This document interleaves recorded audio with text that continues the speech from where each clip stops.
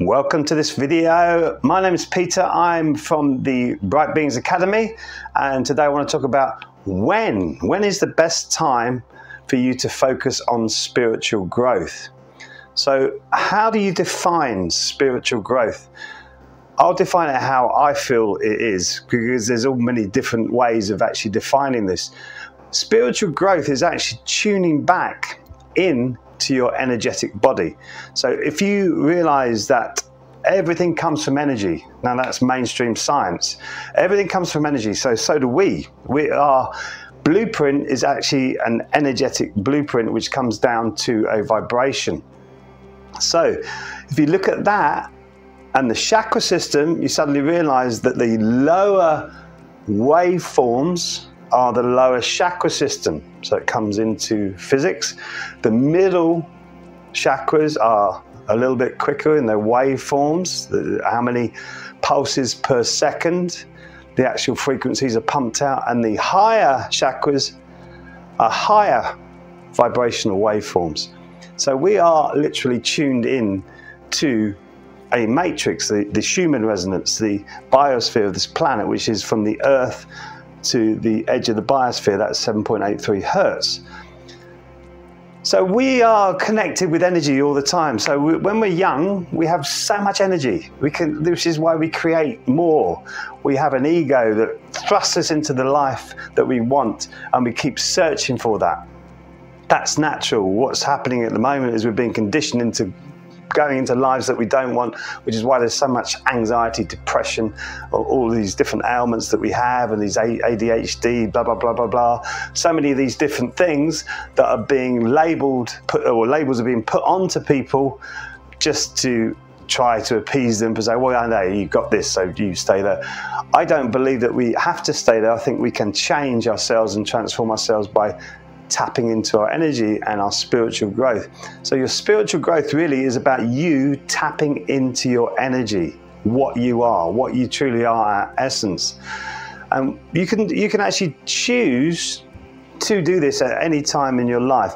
But the pinnacle, the best time for you to do this, the actual peak for you to do this is actually in your 50s and 60s maybe late 40s, 50s, and 60s, when you start to realize that you have negative cycles in your life and you're, getting, you're starting to get fed up and tired with it all going horribly wrong, month after month, year after year, and you think, oh, where are these cycles coming from?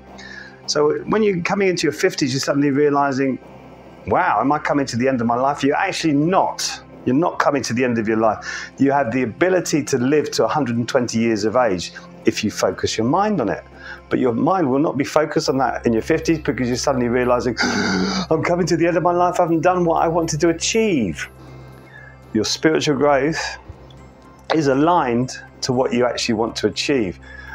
I would say personally, from all the people that I've coached and all the people who come into my Qigong school, most people want to achieve being loved and helping other people.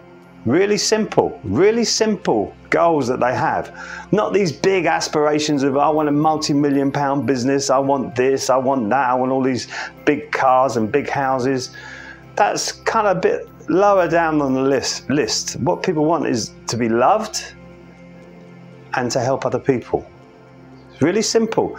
And so your spiritual growth, when you start to tap into that and you realize actually from a heart energy perspective, you have abundant energy to keep going out and helping more and more people without this tug on your heartstring, which makes your heart go in and out like a concertina that exhausts you and you become emotionally exhausted all the time, which most people in their 40s, 50s, and 60s are suffering from that emotional drain, emotional exhaustion, wanting to move away from all of this horrible life that they're living that is understandable because they're not tapping in to their spiritual growth. So in in this time period, you can do this. And right now, the Earth is going through these enormous changes, and so are you because you're connected to the Earth. That Schumann resonance, 7.83 hertz from the Earth to the biosphere. There's a because of the sun hitting the edge of the biosphere, it's creating this resonance which we're born into, we come out of that resonance. So we're actually intrinsically connected to it. So when you start to connect with yourself more, you start to connect to that field more, and that's when your spirituality actually really grows. Your your pineal gland will actually work in a in a more coherent manner. You'll become more clear. Clarity will start to affect you more. You go, wow, I never saw it like this before. Now I'm seeing it really clearly.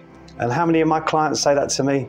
Virtually every single one. It's quite incredible to say when you do the internal work for your spiritual growth, you will start to move forward in your life spiritually, not materially. It's a difference. More right brain. You become more creative with your conversation, more creative with what you do with your life, rather than the physical working out this, that, and the other with the left brain. You become more right brain, more heart centered as a human being. So I would say late 40s, 50s, 60s, if you're looking for spiritual growth, that's the best time. You can start earlier, and the, the young kids coming through now today in their 20s are more wise, more insightful, more getting involved with the everyday human activities that we thought in my generation, oh, that's boring. Well, I don't want to do that. That doesn't involve drinking, that doesn't involve partying. But it does involve actually being loved and to love, which is what our heart is all about. So I do do this in the Dream Method with the Bright Beings Academy. I also run a Qigong school, which helps you connect more with your spirituality.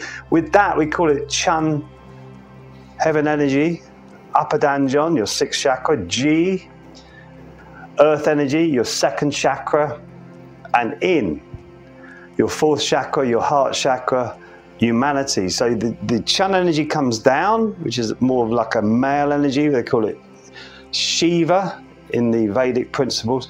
Shakti coming up, more female energy. Comes up the back actually, water up, fire down. You've got this cycling energy around your body and it meets in the middle, which is your heart chakra.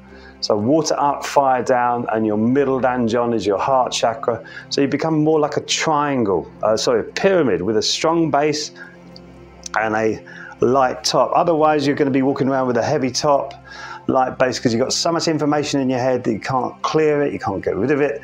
It's difficult because these cycles are going around, and you want to you want to start to shift all of that energy, bring it down into your lower danjon, so that your lower danjon can give you the power, the passion, the creativity to come up through this the solar plexus chakra. You won't be reaching out for control, for recognition, and for security anymore from your solar plexus chakra. All of that will be starting to disappear as you come through that solar plexus with power to actually make you realize your sense of self actually is deeper than your physical body. Come into your heart chakra, then you'll start to live the life that you actually will find very joyful because you can go into these interactions with everybody else and say, wow, I really enjoyed that actually. I, am starting to feel again. I don't feel numb anymore, which is what many of my clients say. I don't feel numb anymore. I can feel, I can, I can sense things again. And this is beautiful. This is your spiritual growth to come back into that beautiful place of being a beautiful, sensitive human being. Okay, if you want to find out more about that, you can go to Bright Beings Academy. It's got the Dream Method there. We've got some Qigong School and we've got all, all of that. So check that out see if anything resonates with you. If you do, please do get in contact because I'm here to help. Anyway, I look forward to seeing you in the next video. If you've enjoyed this video, please do like and subscribe. Till the next video, be well, keep shining.